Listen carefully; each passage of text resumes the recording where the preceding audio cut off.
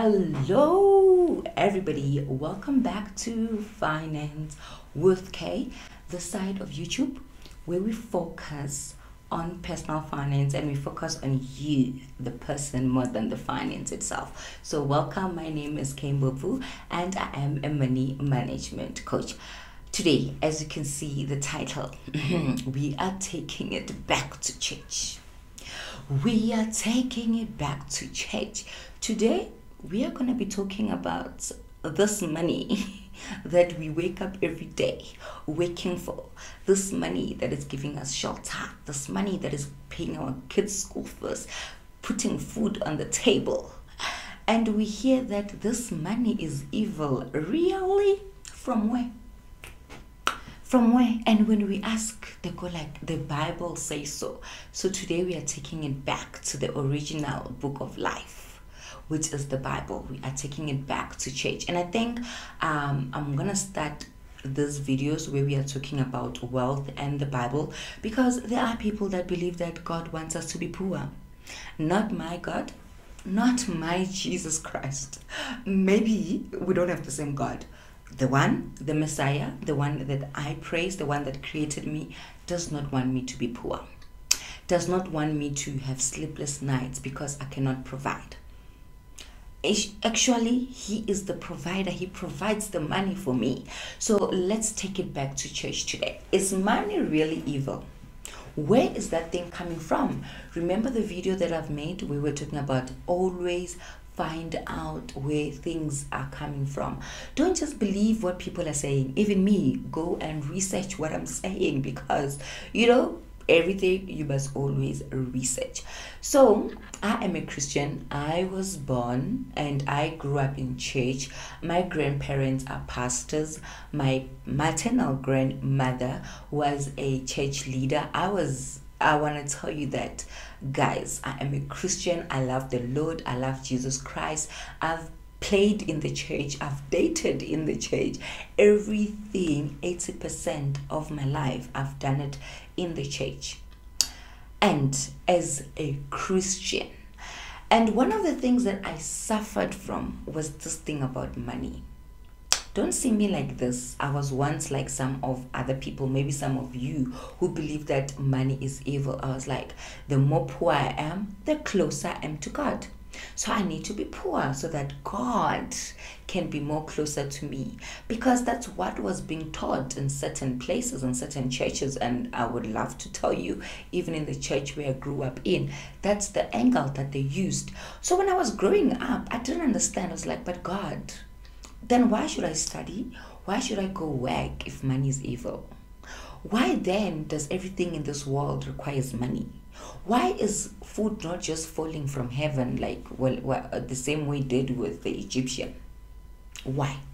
Why do I need, when I go to a public toilet, I need two rand or five rand to go there? And then they tell us that money is evil. And then I was like, God, it does not make sense to me.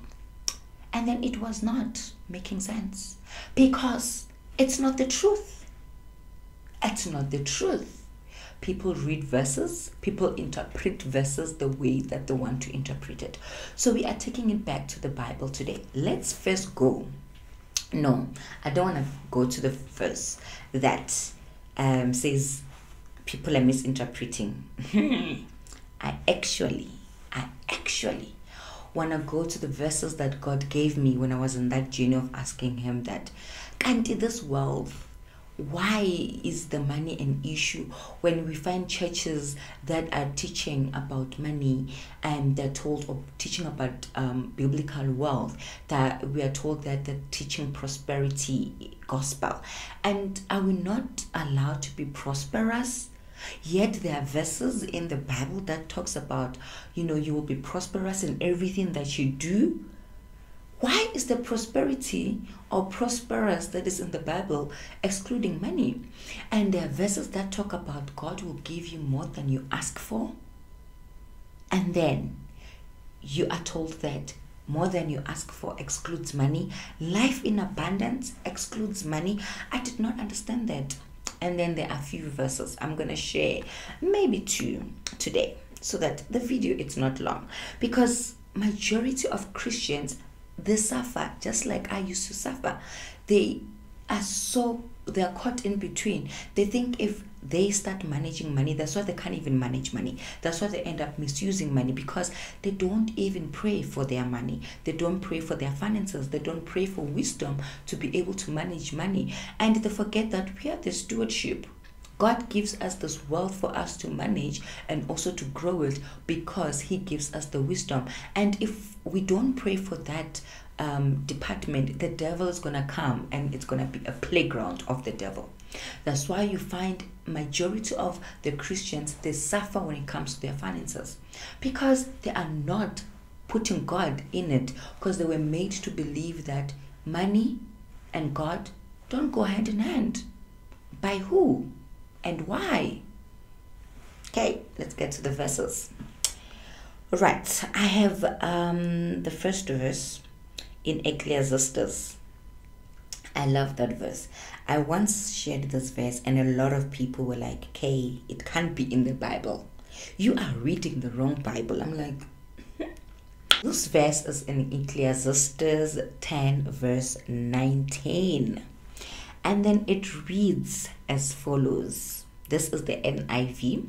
A feast is made for laughter Wine makes life merry, and money is the answer for everything. I mean, if money is the answer for everything, how then can the money be evil? That was the, the verse. Like always, guys, go and read the whole verse so that you can get the whole context. Ne? Please, I know uh, people are going to say, but what was the context? Go and read that for yourself as I'm giving you the verse. But I'm also trying to show you that money is there in the Bible and it's there written the way that it is because it answers everything, like I said school fees, shelter, cars, whatever that we do, 95% it's money. 95% it's money. And if we did not have the money, we wouldn't have 95% of the things that we do. So it is part of everything. In actual fact, in this verse, it, it's the answer to everything. And there's this one, this verse I like the most because it really shows that the wealth that we have, it comes from God. Guys, the money we have comes from God. How can God give us something that is evil? How can God give us something that is evil? All right. Um, in Ecclesiastes 5 verse 19 I love I love this verse like the day God showed me this verse my life was never the same I don't want to lie my life was never the same Ecclesiastes 5 verse 19 is it 19 let me see yes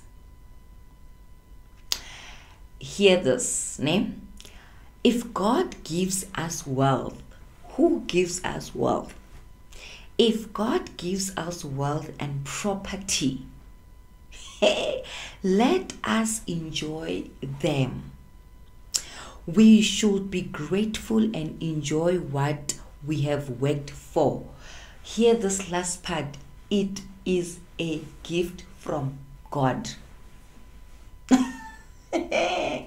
Wealth the properties that we have, everything that we are working for, for, it's a gift from God for us to enjoy. So now you ask yourself, money is evil?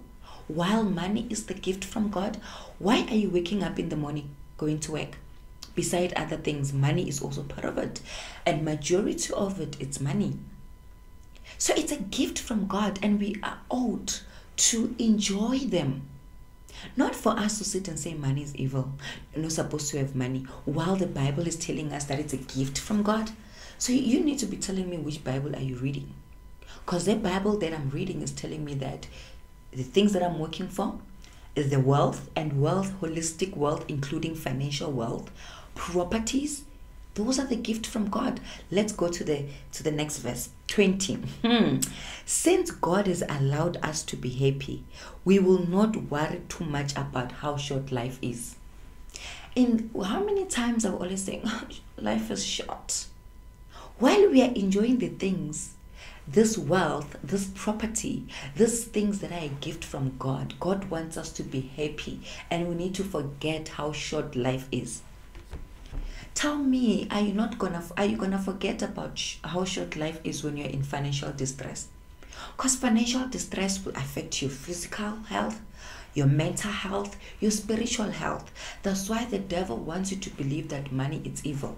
Because when you start not praying for that money, for that finances, for that financial wealth, he then comes and feed you lies and make you to be in a position where your your life is distressed because your financial life is distressed.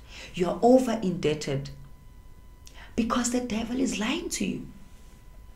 So now we're going to go to the verse that brought all this thing to say money is evil. Let's go to that verse and read it and listen carefully guys and go and read those verses again. Okay timothy 6 verse 10 for the love of money is the root of all evil. Let's break it down. Did the verse say money is evil? The verse said, for the love of money, not money. The love, when now you love money more than your life, more than God now, when everything you do in your life it's about money, you are now putting money as your God. That is the root of all evil. Not money. Money it's not. So it's the person who is now desiring this money that it's a gift from God, but they're desiring it in a place where they're idolizing it, then it becomes the evil part. Love of money is the root of all kinds of evil. And some people, please guys, let's let's get to this part. Craving money have wandered from the true faith and pierced themselves with many sorrows. It's not money that is the problem. It's the person who ends up putting money as a god, who ends up doing evil things to get the money, defrauding people, scamming people, killing people. So let's not confuse the verse. It never said money is evil. What is evil? What is the root of evil? It said is the love of the money. It never said the root of evil is money. Now we're going to say that money is evil. But the root of evil is the love of it when you are now selfishly loving this money more than God, loving this money more than yourself, killing people, defrauding people, and now causing and doing evil things because you want this money. So I hope today we have answered the question that is written on the title Is money really evil? And because the love of money is done by people, we don't want to talk about that. Because anything that has to, has to do with you confronting me as a person, I don't want to talk about it. Then what would we do? We blame the money or we allow the devil to lie to us and say the money is the problem so that our financials can always be in a place where they are distressing us that we can't even praise God Ah, today we are taking you to church. We are preaching today. Today we are taking it back from where it was supposed to start. So the other verses showed us. The second one, most importantly, it's a gift from God. Wealth, it's a gift from God. Properties, it's a gift from God. To do what? To enjoy. To enjoy, not to be stressful about it, not to kill people for those things. When we start doing that, when we now start loving this money and then start doing bad things to get this money, that is the problem. So, Christians, let's stop um, glamorizing poverty. Poverty, there's nothing glamour, there's nothing glamour about poverty of le- or lack of financial wealth guys, let's be honest, asking people, worrying about what you're gonna eat tomorrow, worrying about if the child will be taken out of school because you do not pay school fees, worrying about if the bank is gonna repossess the property. Do you think that's what God wants for us? Do you think the abundance that God spoke about, it's that abundance? If that it, it is to you, it's not to me.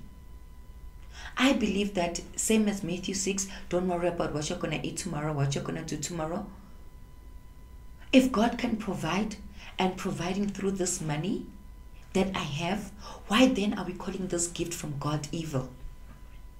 Why are we then allowing the devil to lie and twist the verse? And then we are busy, distressed. We can't pray. We can't go to church because, you know, um, our finances, people are calling us. You are owing everybody in your community. It's taking away your dignity. It's taking away the respect. And then we want to sit as Christians and believe that no money is evil. We don't put God and money in the same equation. According to who? And from which Bible? Because what I've read here is saying it's a gift from God. So don't believe in that lie. Because while you start be, when you start believing in that lie, you are gonna stop praying for your finances and immediately you remove God from your finances. Your finances are going to die because we don't build anything without God as Christian. We build everything with God. I used to host finance prayers on TikTok. People will ask me, why are you pay, praying for finances? Because as a Christian, I know that the money we have is a provision from God. And we need His wisdom to be so that we can know how to manage this money. You can't do it alone. You will fail dismally. Your money won't grow when you touch money, it's gonna go. You will feel like money is just going through your fingers because you are not putting the main thing, the main thing, which is God, because you are believing in the lie. Money is evil, wealth is evil. We are supposed to suffer. Yet we are saying, you know, God. There's a verse that talks about um, God. You know, um, the owner of gold, and there's a gate of gold, and all those nice things and then the same God, we're saying, No, God, um, no, money is evil. You can't give me money, no prosperity, wealth is evil. You just want me to suffer. Not the God that I serve, not the Messiah that I serve, not the Trinity that I serve, not my Creator. And because I was once like you, where I believed that God does not want to bless me financially, I know what it does to your finances, and I'm here to tell you it's not the truth. Pray for your finances. Pray for your finances. Pray for the wisdom to take care of your finances. Because without God, you can't do anything. Without Jesus Christ, you can't do anything. I can come tell you what to do. You can watch all the financial gurus, but at the end of the day, the biggest the biggest person you need is God. And again, God will lead you to people that you need to listen to when it comes to your finances. So don't neglect your finances when it comes to prayer and your spiritual life because you believe that it's evil. Today, I hope this answers you. And today, before we close, I'm just hearing it in my spirit that we should pray for our finances. Maybe I should bring back the, the, the finance prayers. Maybe I should bring them back because we used to do them on TikTok live. Let's close our eyes and let's pray. Father God, in the mighty name of Jesus Christ, we thank you for the revelation of truth. We thank you for this opportunity to come, God, and pray for our finances because we know that you are the provider. We have read it from your word that you gift us this world so that we can be able to enjoy them. Father God, in the mighty name of Jesus Christ, I pray for everybody who's watching this video right now, who has believed in the lie of the devil, who says that money is evil and they've stopped praying for their finances. They've stopped praying for the wisdom of their finances. Father God, I say today, let the truth be revealed and let the lie be crushed. Father God, in the mighty name of Jesus, let them read the word and let them read with the understanding of the Holy Spirit because the Bible says that your word does not return to you void. And Lord, we now know that money, according to your to the Bible, is the answer to everything. And Father God, we ask for wisdom to take care of this money that you have given us, to take care of our finances, Lord, in the mighty name of Jesus. Father God, we don't want to believe in the lie anymore. We don't want to believe in the lie that people are saying that money is evil. We don't want to misinterpret what your word says because your word says the love of money is the root of evil. Help us not to love money more than you. Help us not to love money to an extent that we do evil things. We sin to get that money. Help us, Father God, to know that this money is gift, financial wealth, it's gift that comes from you, our Father, our Creator, our Provider. In the mighty name of Jesus Christ, I bless everybody in your name, Lord, in their finances. I pray for wisdom of um, financial management, Lord, in the mighty name of Jesus. I pray, Father God, that please lead everybody where they need to go for them to get more education about finances. They must not just go to anyone who is teaching worldly stuff because, Father God, whatever we do in this world without you, it's in vain. Whatever we do without putting you first, whatever we do without including your word is in vain. Father God, I thank you for the truth. I thank you that today, Lord, you have revealed the truth to people that have been confused about wealth in our Christian walk. In the mighty name of Jesus, I thank you for your faithfulness and I pray, God, continue providing for us. Father God, continue showing us the wells where we need to go and deep out. Father God, and and just like you did with the disciples when they were catching fish and they didn't catch anything, Father God, show us the right place where we need to put our net so that we can get the fish. In the mighty name of Jesus Christ, we pray for your leadership, we pray for your guardians, and I pray for everybody who's listening to this, who's watching to who's watching this. Bless their finances in the mighty name of Jesus. And I pray for my clients, Father God, lead me to the clients that you know you have deposited wisdom in me for them. You, you have deposited a word from me to them in the mighty name of Jesus. I thank you for your love, your mercy, and for your provision in the mighty name of Jesus Christ. Thank you. So, guys, don't don't stop. If you haven't started, go and start. Pray for your finances. Never in your life think God does not care about the finances. He gave you in the first place. It's a gift. Stop believing that money is the devil, money is evil.